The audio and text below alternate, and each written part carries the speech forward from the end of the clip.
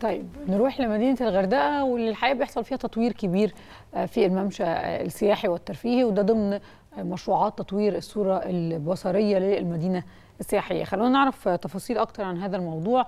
بينضم لنا دلوقتي على التليفون المهندس حاتم دياب الاستشاري الهندسي لمحافظة البحر الأحمر ومسؤول مشروع تطوير الصورة البصرية. صباح الخير على حضرتك يا فندم. ولو تقول لنا ملامح هذا التطوير يعني إيه الجديد في الممشى السياحي؟ إيه اللي هيتم؟ وإحنا بنتكلم على واحد يعني من أكبر يعني الممشى السياحي اللي موجود في الغردقة بنتكلم 6000 متر تقريبا. صباح الخير يا فندم على حضرتك صباح الخير على حضرتك كل السادة المشاهدين. في البداية أنا حابب أوضح إن إن المنهجية اللي تمت في مدينة الغردقة عشان نوصل النهارده إننا نعيد صياغة وتشكيل وافتتاح الممشى السياحي اللي تفضل السيد الوزير السياحة والسيد المحافظ بافتتاحه منذ أيام هي تطبيق مخرجات المخطط الاستراتيجي لتطوير مدينة الغردقة في إطار خطة شاملة للتنمية يمكن بدأناها في 2016 نعم. كان أهم مخرجات الخطة الاستراتيجية دي إن إحنا نعمل نحول مدينة الغردقة لمدينة بيئية خضراء وندعم الصورة الذهنية والبصريه للمدينة من خلال تطوير المحاور والميادين والفراغات العامة. وإن إحنا نحط مدينة الغردقة على خريطة السياحة العالمية في المكان اللي تليق بيها. يمكن إحنا كنا عملنا حاجتين مهمين جدا في البداية إن إحنا نعمل دليل إرشادي موحد لجميع الخامات والأرضيات والتشجير وكل الأنواع عشان ما نتحولش المدينة فيها عشوائية بشكل ما أو بآخر. رقم اثنين إن إحنا قسمنا طبعا يمكن المدينة لقطاعات متجانسة، قطاعات أولوية في التنمية، م. الأولوية الأولى كانت للقطاع السكني عشان خدمة أهالي مدينة الغردقة في المقام الأول، م. ثم القطاع الخدمي والسياحي. بعد كده بدأنا إن إحنا نحط أربع مراحل لتنفيذ المشروعات دي. المرحلة الأولى والثانيه يمكن انتهينا منهم والمرحلة الثالثه اللي إحنا شغالين فيها دلوقتي وافتتحنا منها الممشى السياحي ولسه في طريق المطار وحلقه السمك. م. طبعا يمكن الممشى السياحي اللي بنتكلم عليه النهارده ده يمكن طوله 6500 متر تقريبا.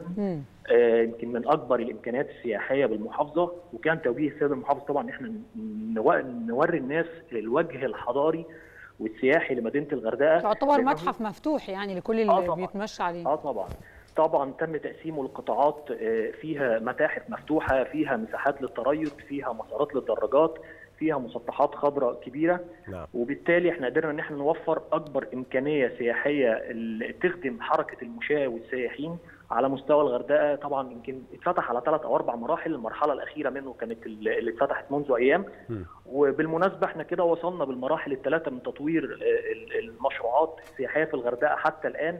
إن إحنا نوفر 15 كيلو متر من مسارات المشاة على مستوى المدينة يمكن كانت خاطب المدن العالمية في حركة المشاة. نعم. وفرنا تقريبا 50 ألف متر مسطح مناطق خضراء ومفتوحة وده بيقلل درجات الحرارة طبعا والانبعاثات الحرارية وده بمناسبة طبعا استضافة مصر للمؤتمر المناخي العالمي.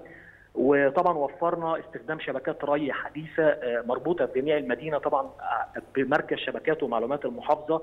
واستخدام خامات صديقة للبيئه وما إلى ذلك. نعم يمكن باشمهندس حاتم أنا شايف في الصورة اللي بتعرض دلوقتي للممشى ما أصبحش ممشى بشكله النمطي أو التقليدي يمكن نقدر نقول إن إحنا شايفين بورتريه في يعني لوحة متكاملة الأركان لأن الممشى ده في الحقيقة هو عمره 20 سنة هو الأقدم وإن كان الأكبر كمان في مصر. فيهمنا هنا نعرف يعني كل أعمال التطوير الخاصة بالممشى دي هل بيتم الاستعانة فيها بأيادي مصرية فقط ولا أيضا في عامل أجنبي أو خبرة أجنبية موجودة للاستعانة؟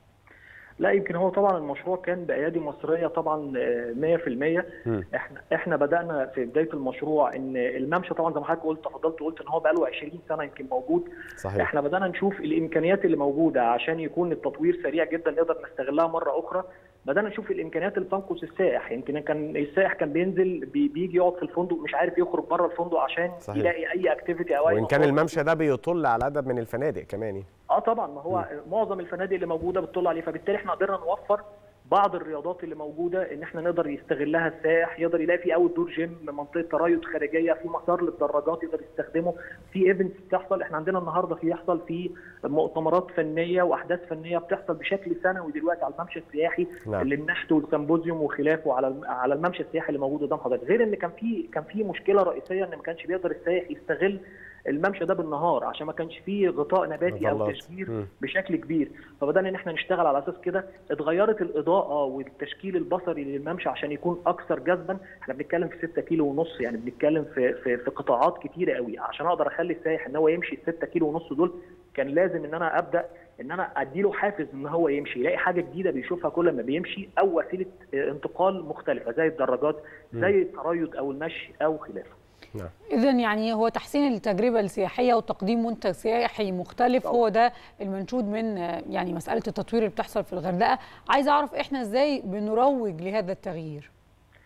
طبعا إحنا يمكن هو الترويج لهذا التغيير بال بال بالمنتج نفسه بالحدث نفسه. يمكن لما لما بتلاقي حضرتك السائح بيجي يلاقي تجربة مختلفة بيتصور صورة مختلفة بتنزل على مواقع التواصل الاجتماعي أو خلافه ده أكبر ترويج لينا بحيث إن إحنا نظهر الوجه الحقيقي اللي موجود للمدينة فعلا. وده يمكن في الفترة الأخيرة تصنيف مدينة الغردقة بدأ إن هو يرتفع وال ranking بتاعها بدأ يرتفع على على على حاجات كتير على مواقع كتيرة Tripadvisor وخلافه. مم. فده حاجة كويسة ويمكن دليل على إن المنتج السياحي فعلا بيتطور وبيتطور في مدينه الغردقه نعم. يعني إحنا بنشكر حضرتك جزيل الشكر المهندس حاتم دياب الاستشاري الهندسي لمحافظة البحر الأحمر ومسؤول مشروع تطوير الصورة البصرية للممشى بمدينة الغردقة الغردقة. شكرا لك فندم.